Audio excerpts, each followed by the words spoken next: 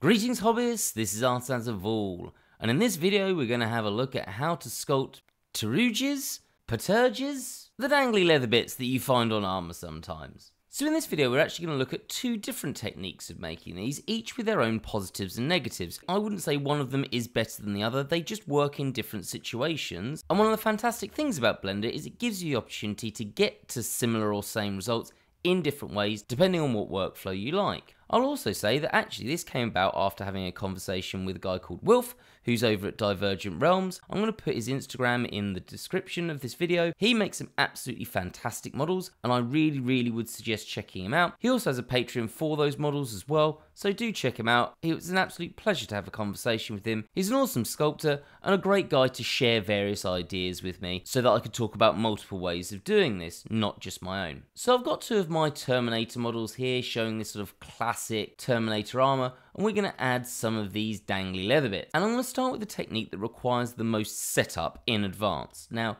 before we do this, we are going to be using curves, and we are going to need some of the extra curves that you can get. So I need you to go to Edit and Preferences, and if you don't have extra objects enabled, just type in extra and add this extra objects curves. What that means is when you press Shift and A and go to curves, you have all these extra options and we're going to need one of those. But to start with, we're going to have a curve that we have as standard, and that is going to be a Bezier curve. And then we get our Bezier curve just here. We go into edit mode, we can start editing these points around. So we're just going to get this from this bit in the armor, so it's just G to move it around, R to rotate, we can also S to scale these up and down, depending on what you want your curve to do. So again, I'm going to R there, G to there somewhere, Let's have a look at this side on. Yep, we need to rotate a little bit here as well. And let's bring that to the center of this and we'll have two of these. And if you want to, we could scale that down, move that up a bit and then E to extrude a little bit more. And then obviously we can have a little bit more control. It's up to you what you decide you want to do with this, but it's very easy to fiddle around with these curves. And we'll talk about that a little bit more in a second after we've done the basic setup. The other thing that we're going to want to do is we're going to want to put an object onto this curve. And we can do that very easily if we come over to the curve data properties down here. It's the green line that looks like a curve. And you come to where it says geometry. If you come down to where it says bevel, you have the option to make it, well, round. But we don't want to do that. Let's put that back to zero. We want to use an object. And for that, you need to select a curve. Notice you can't use a normal mesh. You're going to select a curve, and then that's going to be added to this as its profile. So this is where the extra objects comes in. Shift and A, curve, and I'm going to go down to this rectangle. Now, this is going to be far too big at this point, and there are some things that we need to deal with. Now, we can modify this and use this option here, but I'm actually going to show just how we'd normally edit it. But you could put your widths in here and your lengths and things like that. But I'm just going to press S to scale that down, and then I'm going to press S and Y to scale it on the Y-axis, actually maybe a little bit more. And importantly, we need to get rid of the fact that this is filled. So while I'm selecting this object, so back into object mode, not edit mode. We're going to come to our curve properties, go all the way to the top, and I don't want a fill mode, I want none. And then we can go back to our original curve, come to our object and select that curve there, and it will make this curve. And let's shade that flat so we can see what that looks like. Probably still a bit too big.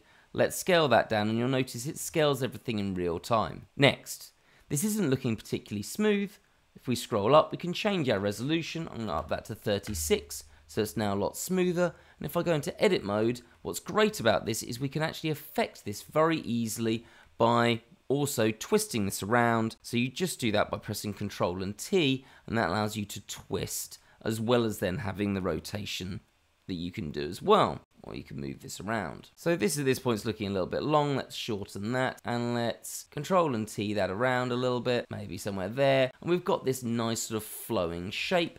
And if we do multiples of these, though before I do that, we don't have this filled in. So we do want to scroll down back to where the bevel is and click fill caps and that will fill that in, though we will need to sort one thing later. And then from this point on, it's really easy. We can just shift and D and duplicate this. So I could put one over here and I could fiddle with these curves somewhere like that. And then control and T to twist that round so it can move around our armor that we've got here. Let's do something like that and we can rotate that around a little bit there so it flows over this little bit of armor. One more, so Shift and D, and we're just going to make some minor modifications to this one so that it's not identical to the one next to it. So let's Control and T that to rotate it around a bit more, and then let's just move that over there. So we get these pteruges, and we can always come here and scale this up or down for whatever we want. So a little bit more setup, but it's really quick to do. Again, we'll talk about some positives and negatives of this technique in a second. The second technique doesn't use curves. Instead, I'm going to shift an A and I'm going to bring in a plane. Let's G that over to this one. Let's S to scale it down quite a bit. And then we're going to press R, and in my instance Y, and 90 to rotate that round there. Let's bring that up to where we want it, and this is going to be our basic shape. And for this one, this is much quicker to set up, but in some ways it has a few fewer options and other hindrances with it. So positives and negatives of each. So all I'm going to do is go into vertex mode, select those bottom two vertices, and then E, and I can just extrude this out as much as I want to make my shape.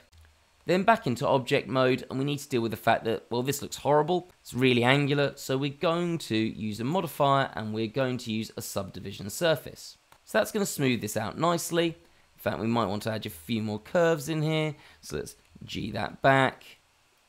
Let's G that one back as well, and there. And there, and you can see we're getting a much smoother curve. Let's move these ones forward slightly something like that. And to smooth that, we can just up our levels of smoothing. Great, but it's got this weird rounded edge. It's also got it on the top here. We want to stop that, but normally to do that with the subdivision surface, we'd click this simple button, but now it's all gone. So what we want to do is we do a different method of smoothing it, or preventing the smoothing on these corners. If you click on advanced, let me come down to the bottom where we can see this. So come to advanced, and where we've got boundary, if you click keep corners, it keeps the corners quite nicely.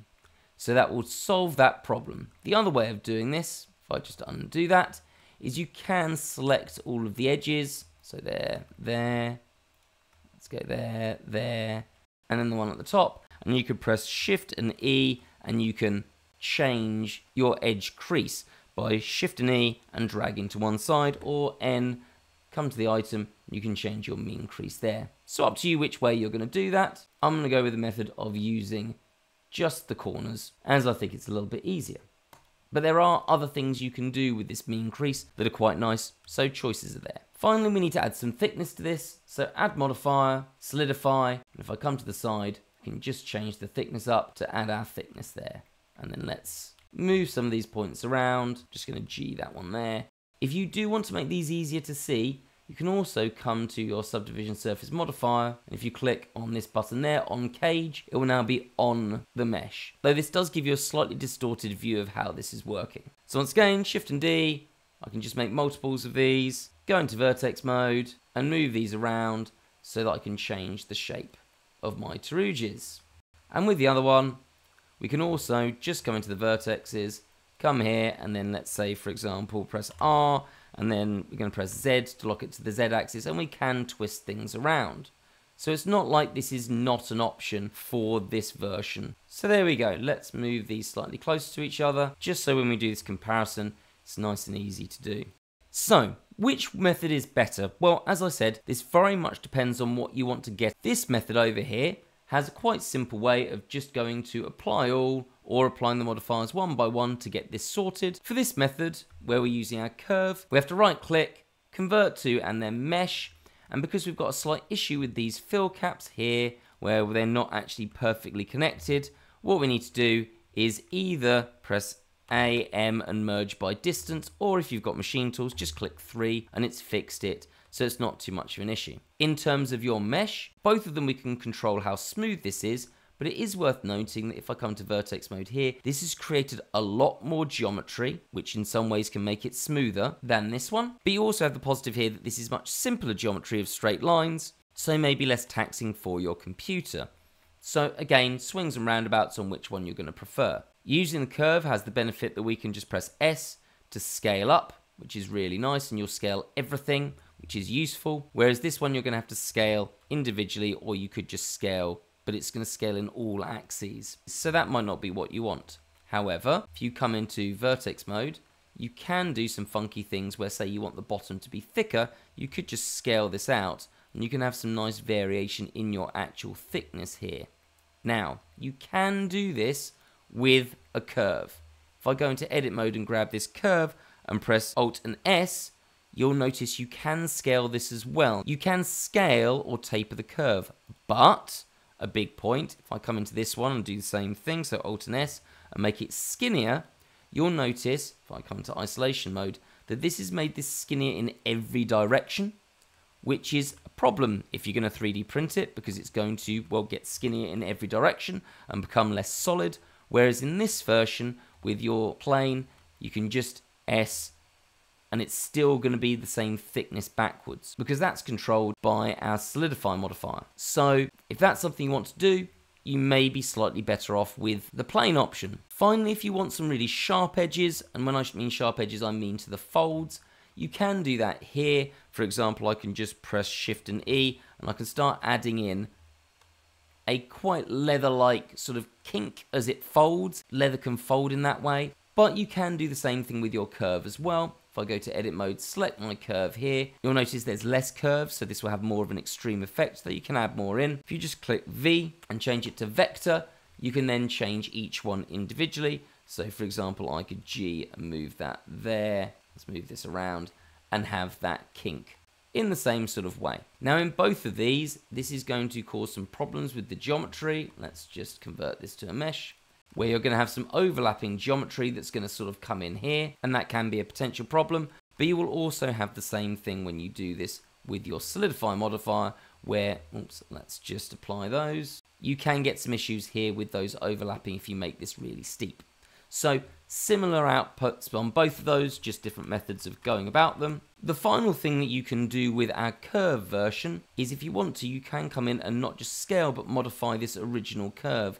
Let's just bring this up so we can see it next to our shape. And if you come into edit mode, you can, for example, let, let's G and X that to move that that way. I'm going to do the same for this one. And each of these. So I'm just grabbing the handle and moving them back. And you can make this nice sort of arcing shape for this. As if it's being curved in the wind. Though I will point out, if you do this, and then convert it to a mesh, you then end up with just as much in terms of geometry as you would over here. So there we have it, two method of making Pteruges, depending on what you want to do and your method of going about them. Now, in a future video, we are also going to cover a really funky way of doing this instead using geometry nodes, where we can add a lot of little extra bits in, which may save you time, but is obviously going to take a little bit more setup. If you want to make sure you see when that video lands, do hit the subscribe button, and if you found this video useful, I'd really appreciate you hitting that like button, as it helps spread the channel around and allows more people to see it. Have a great day, guys.